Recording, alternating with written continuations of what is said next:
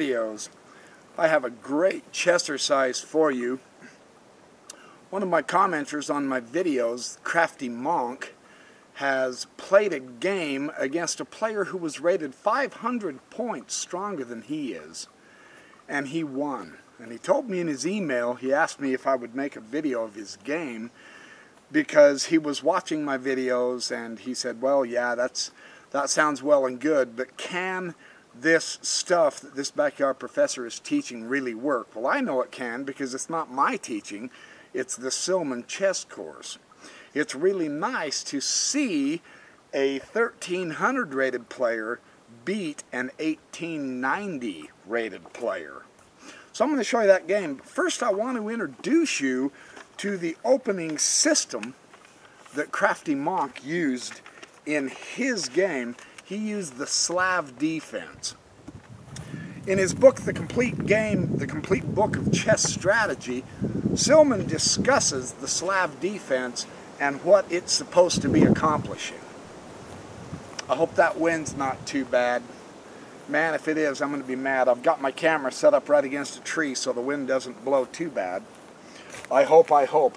This is a popular opening among grandmasters even today because it gives a harmonious mix of solidity and dynamism. And that's what everybody wants in chess, right? Dynamic chess. Give us a feel for the Slav defense. d4, d5, c4, c6. The reason this is such a popular move is because black protects his d-pawn, right? But he doesn't hem in his bishop to do it by protecting the d-pawn with his king pawn. So this is one of the lines of option open in the Slav defense that's really nice. And then play continues. Knight f3, knight f6, knight c3, d takes c4. And then after the d takes the c4, the pawn moves up to a4. So you can see a dynamic play.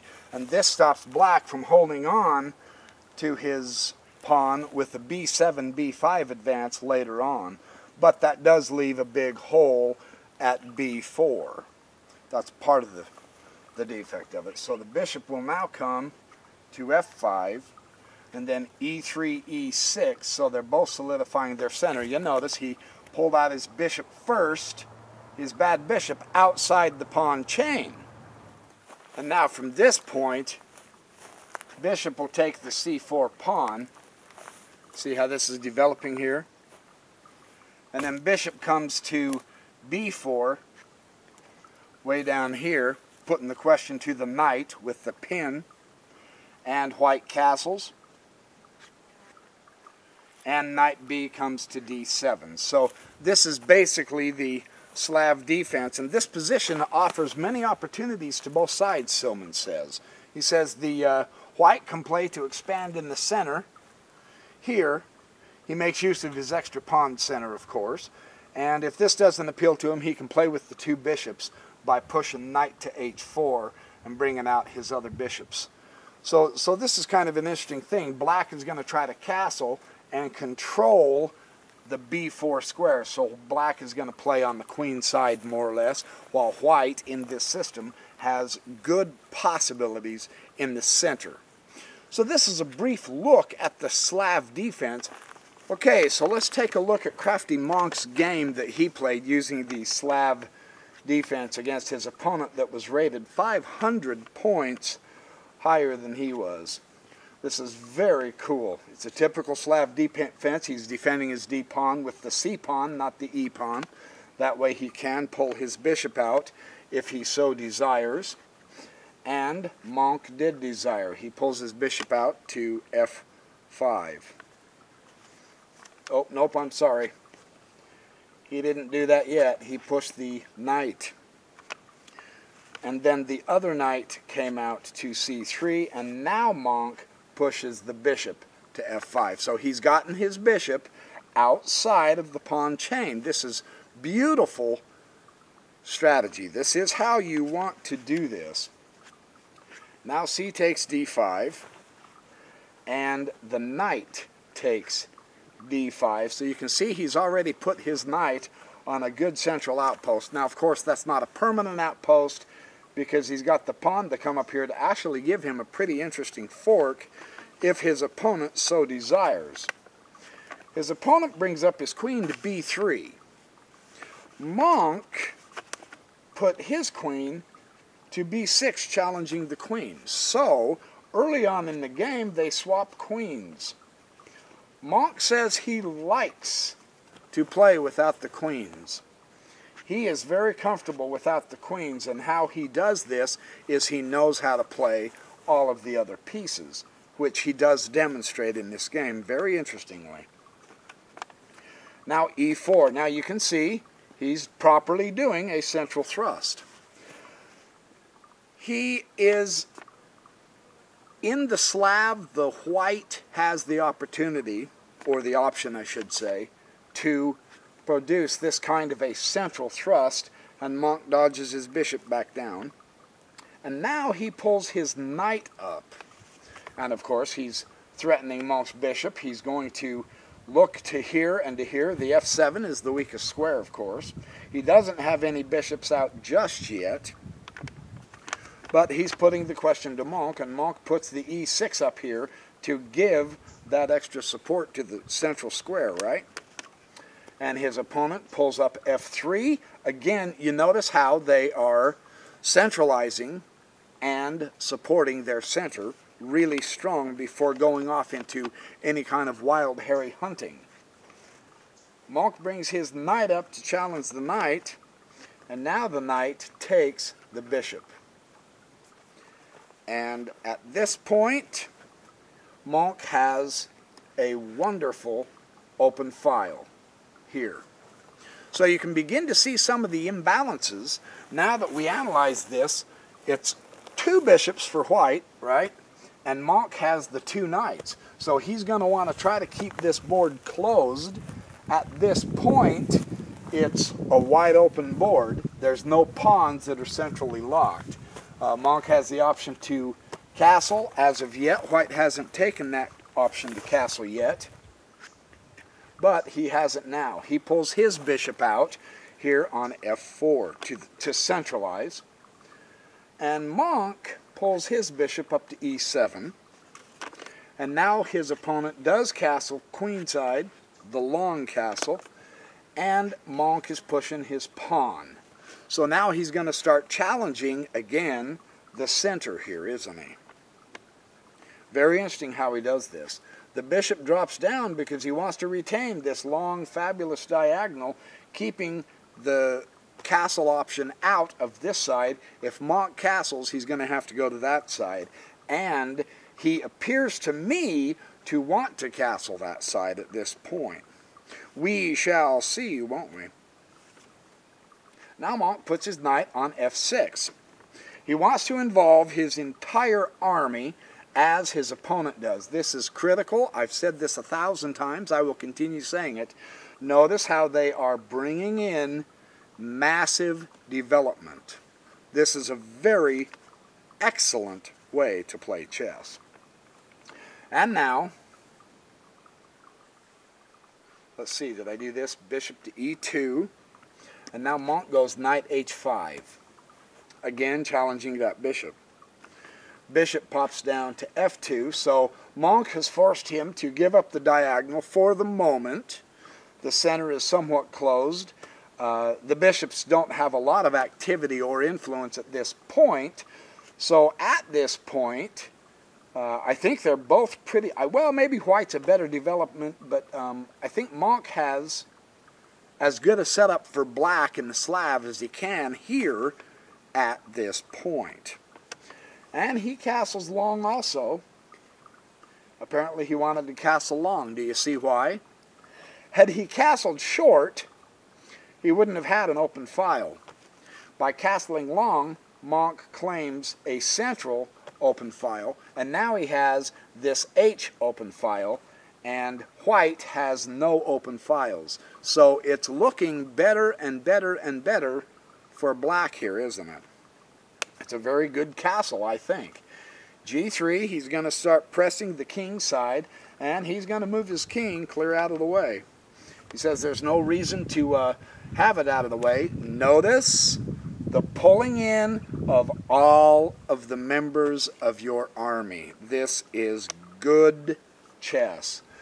Notice Monk put his knight on the edge, and there's nothing wrong with that as such, but he wants to bring it in to use his entire army. So he, he's not going to leave it out here in the rim and try to find one or two pieces. He's going to pull it back into the action. It served its purpose at that point. This is always important to keep in mind. He drops his bishop down.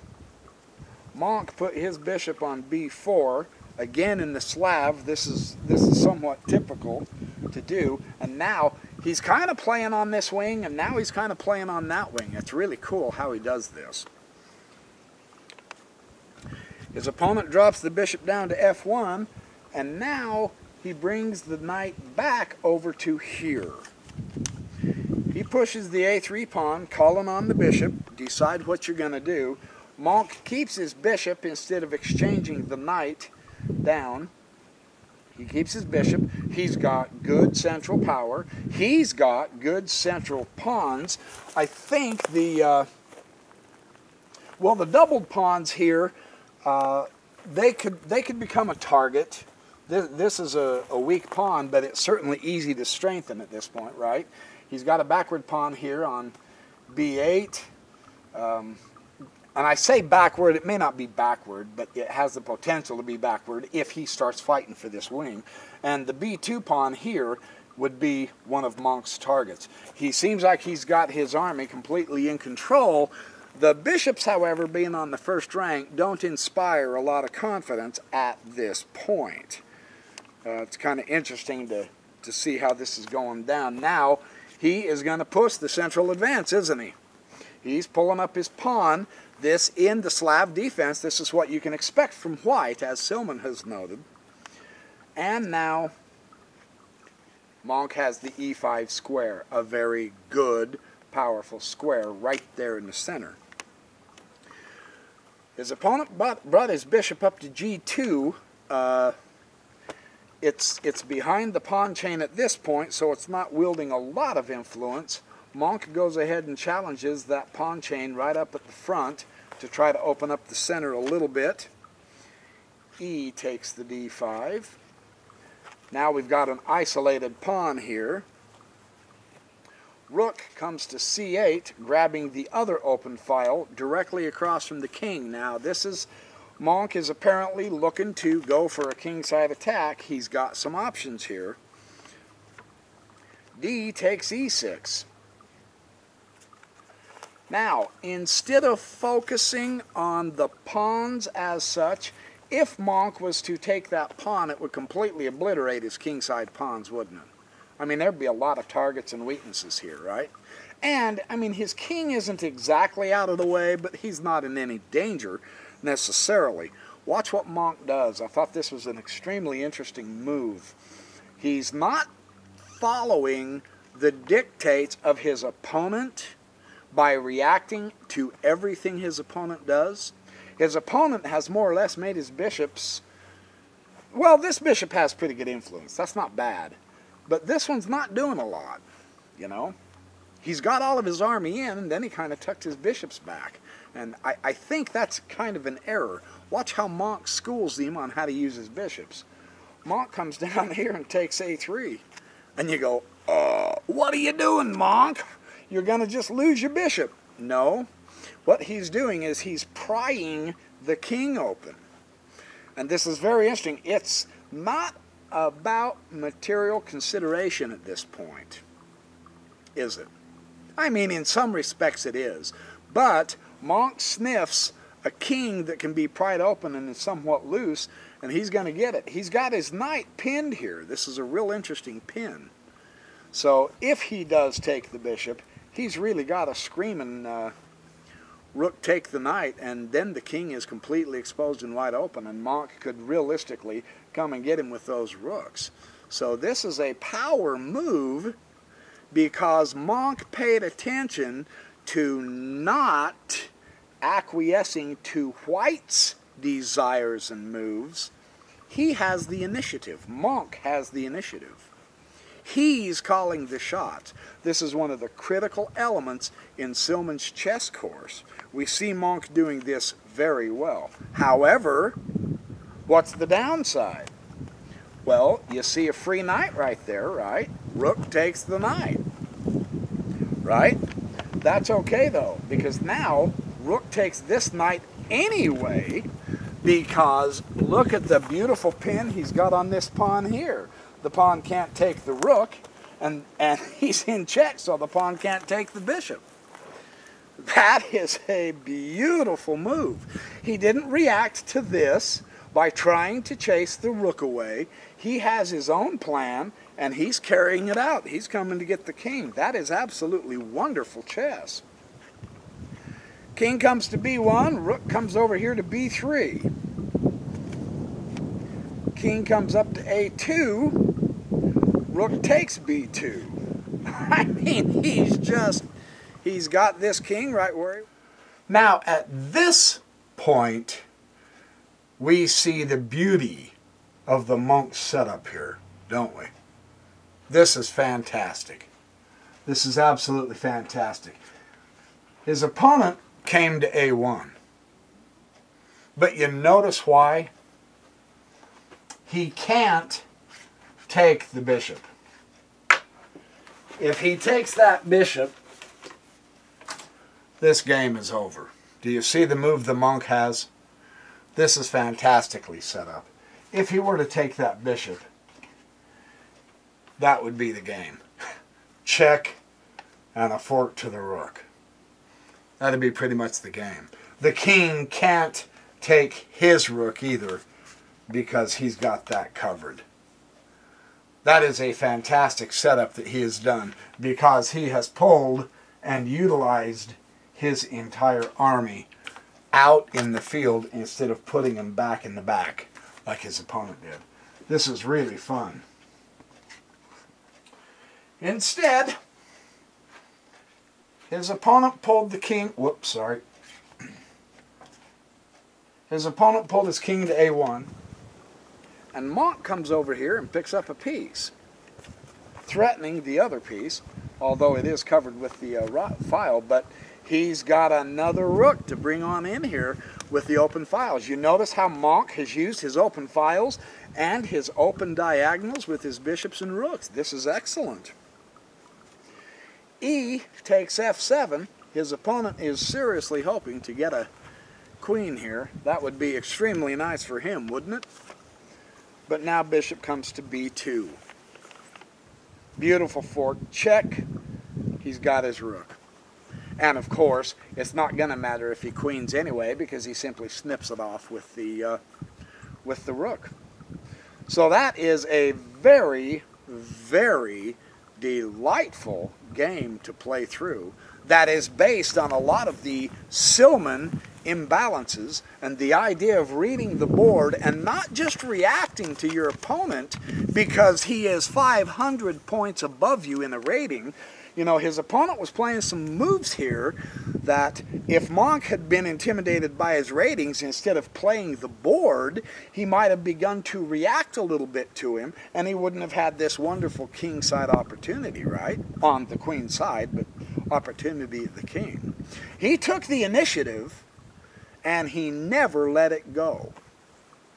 That's a great chess exercise for you to play through. Thanks, Monk, for sending me this game. It's been a delight to play through. It's been fun to make a video of. A great chessercise. Congratulations on beating someone 500 rated points. This shows you that it's not about the rating, is it? It really isn't. It's about the knowledge. It's about the ability to use the pieces properly on the board properly in the proper section of the board, isn't it? You notice Monk's opening with the Slav defense didn't follow the opening lines typical of the Slav defense either. Why is that? Because they never do. If you memorize a bunch of openings, what happens if your opponent plays a move that has nothing to do with the opening? Then you're just lost. It's, it's more important to understand general principles, getting your bishops out ahead of the pawn chain, using your bishops in an open field, and using your rooks in files. These are much more important considerations as well as the fight for the center was pretty good too, right? So, thanks Monk. And thanks the rest of you to, uh, for watching my videos. Happy chessercising and happy chess studying. And I'm missing something. Oh, happy checkmating, of course. Happy checkmating. Or at least forcing the king to resign. Way to go, Monk. I'm impressed. I'll see you guys in the next video.